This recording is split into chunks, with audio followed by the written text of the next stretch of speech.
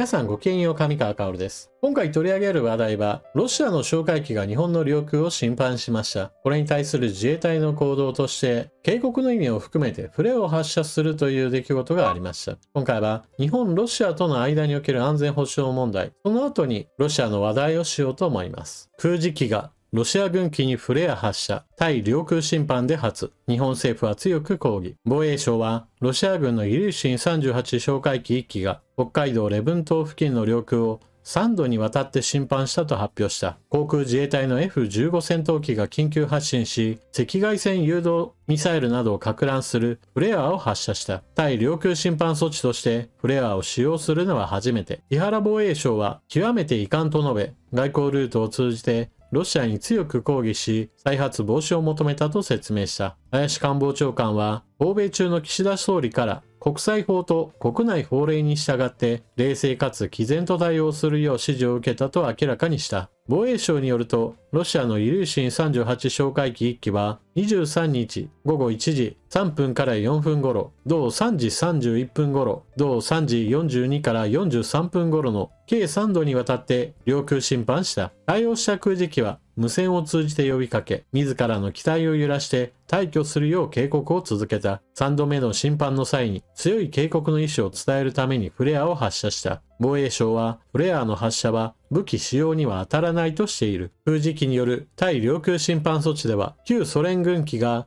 昭和62年に沖縄本島や鹿児島県の沖永良部島徳之島の上空に侵入した際、警告のため信号射撃を行った例がある。防衛省によると、ロシア機に対する緊急発進回数は、令和元年度以降の5年間、中国に次いで2番目に多い。元年度は268件だったが、5年度は174件。今年度は8月までに70件行われた。8月下旬には中国軍機が初めて長崎県の男女群島沖の日本領空を侵犯した。今回のロシア軍機の飛行経路がこちら。赤い線で示されています。たまたま偶然といった形で領空侵犯をしたわけではなく、同じところをぐるぐると似たように動き、それに伴って3回領空侵犯を行いました。非常に意図的な動きであることは明らかでしょう。そしてこちらが該当の航空機。ただし、この写真が領空侵犯しているその最中のものであるかどうかはわかりません。あくまでも動画機として参考資料として公開しているのか、そのあたりについては明言はされていませんでした。ただし、公開されている写真では、イリューシン38の爆弾層と呼ばれるお腹の部分が開いているため、その部位と呼ばれる潜水艦探知するための探査装置を投げ込む訓練をしていたのではないかといった話が言われています。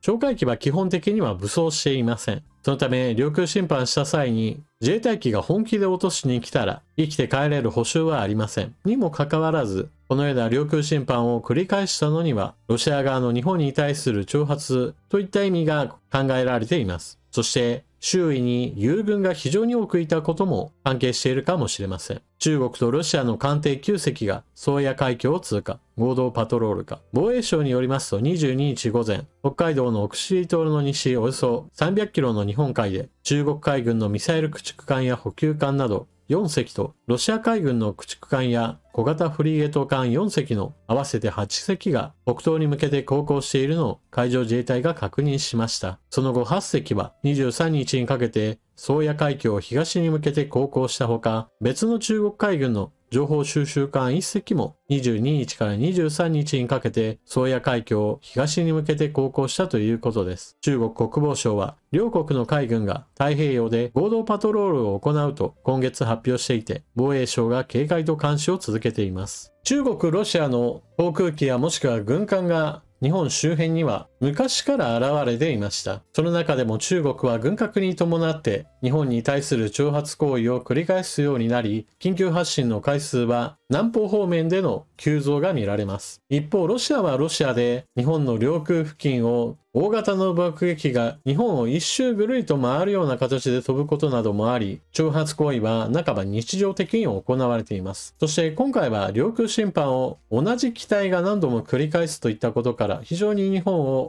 甘く見ている行動です。やはりこうした行動に出ている背景としては、日本が何をしても結局のところ何もしてこないというのを彼らが経験上知っているからで、例えば今回の対応としても政府の動きとしては遺憾ですよという話をしているのだってそれ以上の話はしていません。自衛隊機がフレアを発射したという件について言っても、このフレアというのはあくまでもミサイルが飛んできたらそのおとりとするようなものであって攻撃性のあるものではありません。まあ、だからこそ今回も警告の意味は込めているけれども決して警告射撃ではないわけです。私はこの問題に関しては、特に国際法に準じた行動として考えても、警告射撃を行うことは、決してルールから外れるような行動ではないと思います。もちろん、領空侵犯していない状態で撃ってはいけませんが、領空侵犯をしたのであれば、警告を伝えるとともに、その後に当たらない程度の警告射撃を行うといったことは、私はこれからの対応としては必要だと思います。特にロシア、中国との関係を考えれば、彼らは話し合いをこちらが望んでも、彼らには話し合う気がありません。話し合いをするぞというように、どんなに意気込んだとしても、それはあくまでも相手が話し合いの姿勢を持っていたら有効な話であって、相手に話をする気がないのであれば、日本がいくら話し合いをするぞといったことを言ったとしても、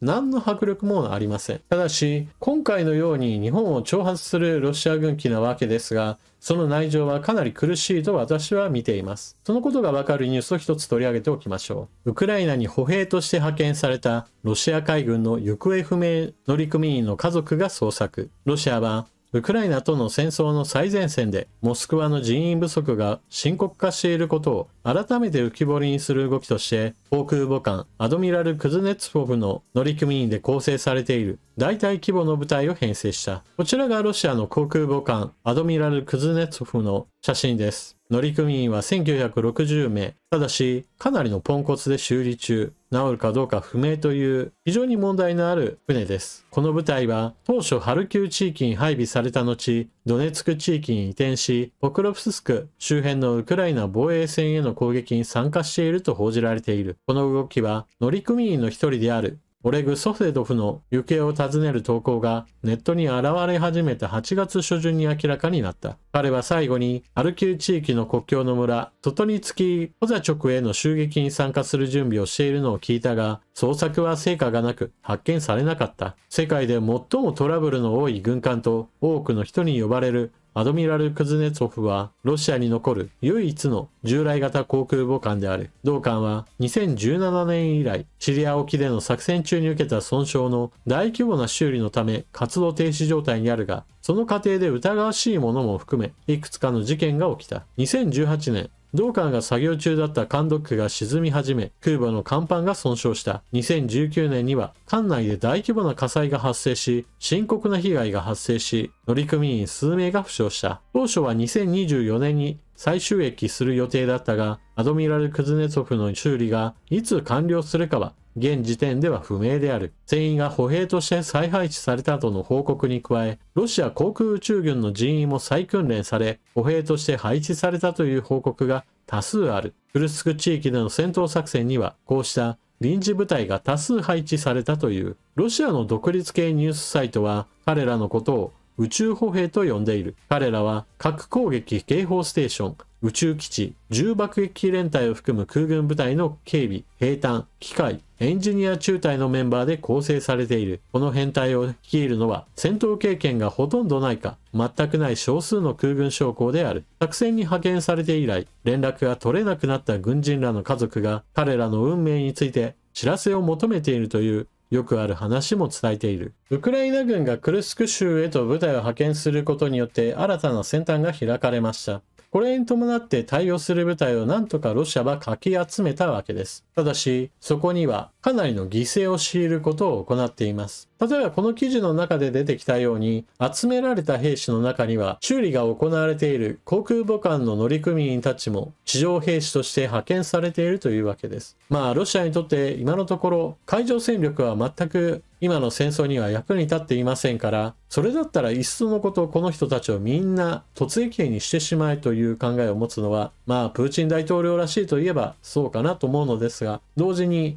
船乗りが地上で戦えというのですが、当然のように彼らにしてみれば、本職の戦いではないわけで、使い捨てにされる役割しか与えられないでしょう。その使い捨てにされる兵士たちの中には、本来であれば、訓練に訓練を重ねた専門技能の持ち主たちもたくさん混ざっているわけなので、ロシアの後先考えない、とにかく今さえ何とかすればいいという非常に短絡的な考えが見て取れます。ロシアにしてみれば、東が戦場で西側の日本との関係においては、本来であれば日本を刺激するのは得策ではないはずなのですが、そのことすらもあまり考えていないのかもしれません。むしろ強がって日本を刺激し抑え込めるとでも考えているのかもしれません。ただ、このような考え方をするのは当然のように日本に対する失敗の政策だと私は思います。ただでさえ日本の中においては、机上の空論で平和主義を唱える人たちがたくさんいるわけなので、現実問題として安全保障問題考えなければならない危機が、まさに北にも南にも西にもあるよというような状態だということを突きつけるということは、むしろ日本国内における安全保障問題に真剣に取り組み、防衛力を強化するためには、憲法や法律、自衛隊、予算、まあ、様々な面において改善を図らなければならないという現実主義者を目覚めさせることことなるわけです。今回、ロシア空軍機による領空侵犯によって、警告射撃には至らず、フレアを発射するという対応へと一歩前進が見られました。まあ、警告射撃してないんだからこれを一歩前進とも呼べないという